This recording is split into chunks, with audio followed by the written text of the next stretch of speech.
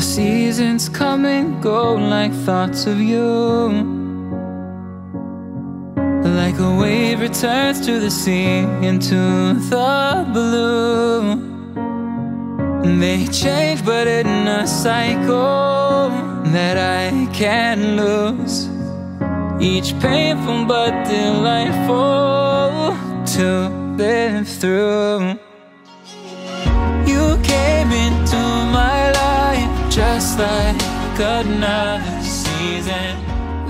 Okay oh, guys, so due to unfortunate circumstances, I'm not being forced to move out, but I mean like, it's be best for me to move out because obviously of this coronavirus, like in case it does get worse, I don't want to be like isolated and stuck inside this residence building. I'd rather be at home and be stuck with my family than be stuck here on my own if that makes sense. So and again everything on school is online now so there's no point of me physically being here because there's no classes. Everything is online.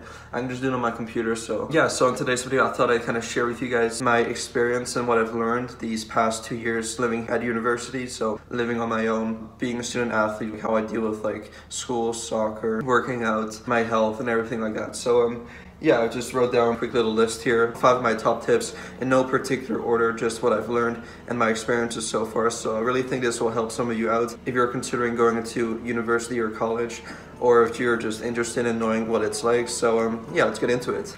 And again, these are in no particular order. These are just five random things that I learned. So number one, time management. So you really got to be on top of your stuff, especially if you're a student athlete or if you've other commitments outside of school. You really got to be on top of your game in terms of like everything going on in your life. So obviously, the big thing that I've learned to do is actually my coach told me this is to make a list of priorities and list your number one priority at the top of the list and then your second most important and third and then fourth and then so on and so on so obviously school should come first for most of you so really be sure that your schoolwork comes first so make sure you do your homework make sure you get your assignments done before you do other stuff, before you like go to the gym, workouts, play soccer, or go to work, or do whatever you gotta do outside of school. So again, like you really gotta be on top of your stuff because you just gotta do it because there's so much going on like at once and it's like, it's so overwhelming when you think about it. Oh, I gotta go to school, and oh, I gotta go to work, and then oh, I gotta go to my soccer practice, and then I gotta go workout, and I need to get all my meals in, and there's just so much stuff going on. So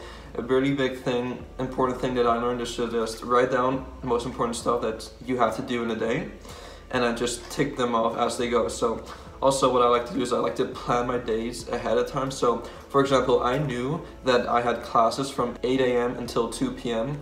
I had soccer practice from 4 p.m. to 6 p.m. And basically I also wanted to go work out and get my meals in. So what I decided to do is that, okay, so since I can't work out after school because of soccer, what if I go work out before school? So what I used to do is I'd wake up at 6 a.m.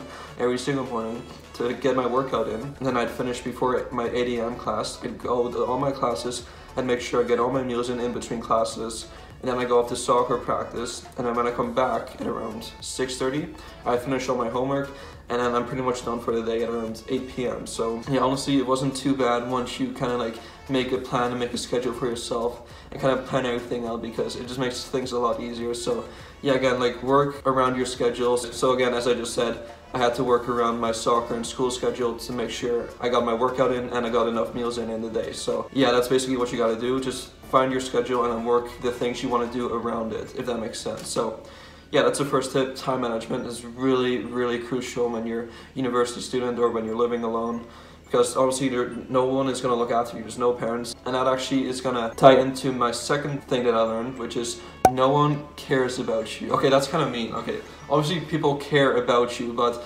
like people have their own things going on and the last thing they want to worry about is how, how am I doing? Like, hey, Cohnan, how are you doing with school? Like, no, no one cares. Like, you got to really be on top of your own stuff. So now, obviously, like when it comes to like the teachers and profs and coaches, like obviously, if you tell them the situation, like they'll help you. But if you're just silent and don't ask questions, no one is gonna know you're struggling. No one is gonna know you need help. So, really, a really big thing and really important thing you should do if you're a student is that you should just ask questions. Like ask the stupidest questions ever because they will help. So, yeah, really like try and make your teachers actually do their job by asking them a bunch of questions just like don't even feel bad about it like they may you may think that they think that you are annoying or a weirdo, but honestly, like teachers like it when you ask questions. So just ask away because like someone else may have the same question. And again, so ask anyone, ask students, how was the homework? Like, what did you do for homework? Ask the prof. So like whatever questions you have, just ask away because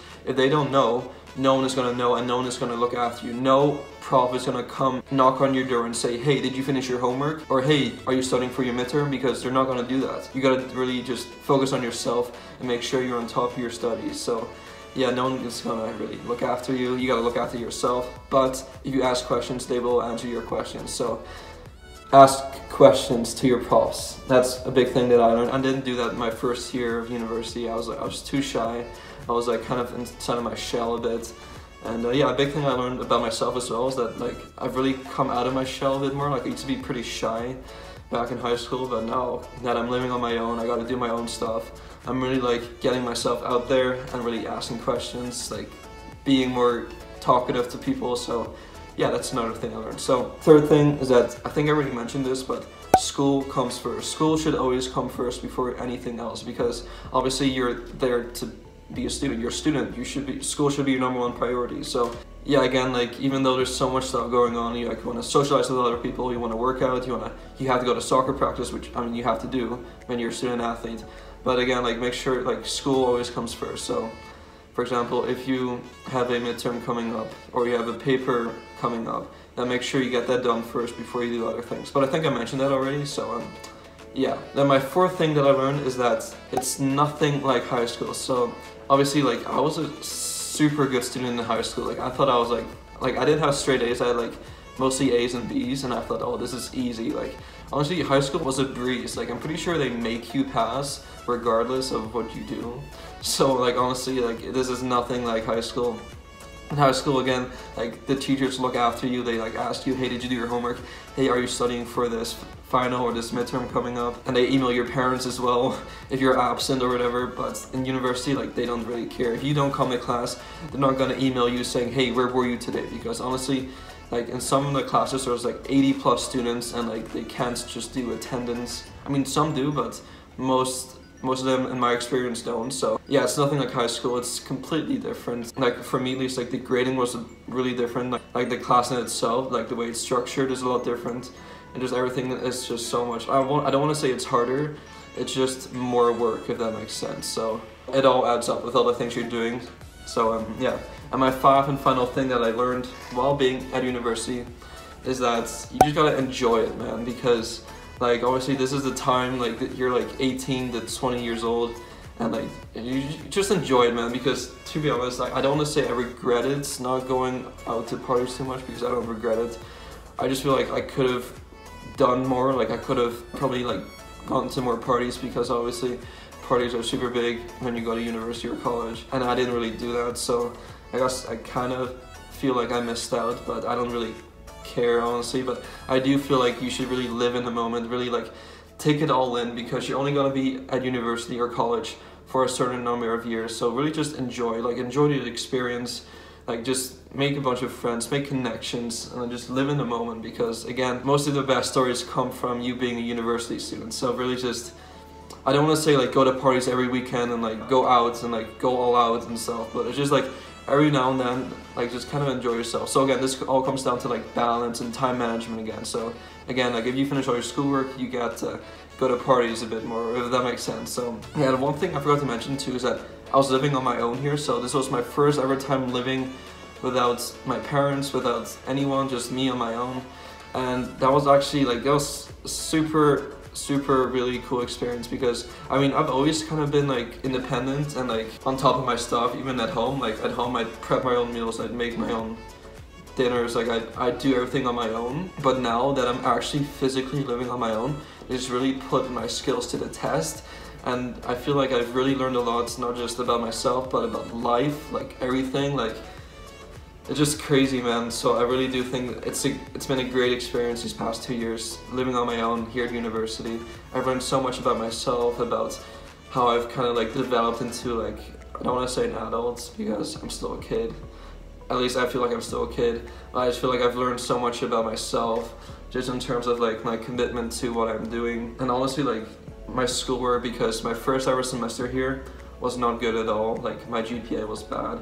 And then the next semester I kind of learned how to study. Like it sounds weird, but I actually learned the system, if that makes sense. So I learned, okay, so this is what they want you to do, and that is what they want you to do.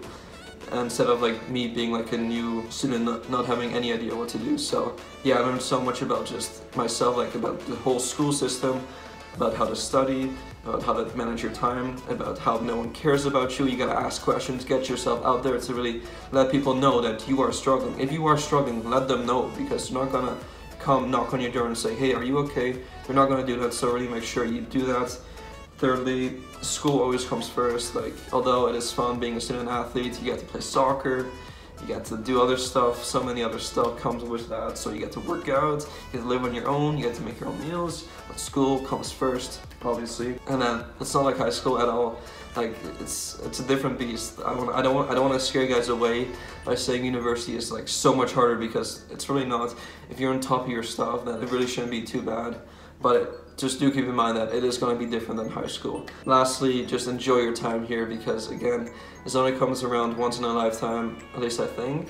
I I think. Yeah, I think it does. So yeah, really just enjoy yourselves. Like I don't want to say go to parties every single weekend, but just do go to more parties than I did. Is what I, what I want to say because again, I don't want to say I missed out, but just enjoy it, man. Because yeah, just you're only a student once in your life, so just take full advantage of it. So meet new people, make new connections, enjoy your time here, get drunk once in a while, whatever. Like it's all part of being a student. It's all part of growing up. So yeah, those are my top five things that I learned. So I hope you guys took something from this video. And uh, yeah, I gotta get back to packing. Ah, yeah, let's go. Okay guys, so it's currently, I think it's like 11.30 p.m. It's pretty late, so um, yeah, I completely cleaned everything in my room, so no more posters, no more Ronaldo posters, which is sad, but um, yeah, everything pretty much clean. I'm gonna sleep tonight, and then we're gonna leave tomorrow morning, and um, yeah, just show you the kitchen real quick. So yeah, I got the boxes right here, some other stuff there as well, so kitchen completely clean even like the freezer. I'm just gonna bring some stuff with me. Completely clean the shelves and everything. The fridge as well. Got some stuff I'm gonna bring with me tomorrow. Microwave clean. Clean the bathroom as well. Um, quick flex shower. So um, yeah, we're basically ready to go. Gonna get get up tomorrow at around 6:30 a.m. Pack all the stuff inside the car, and we're off to go back home. I'm excited, so I'll see you guys then. Okay guys, so everything is literally packed. Everything is gone. So uh, yeah, I got my bin full right here. Everything literally stuffed in there. And uh, yeah, that's gonna be it. So I'm gonna miss this place, but um, let's go back home.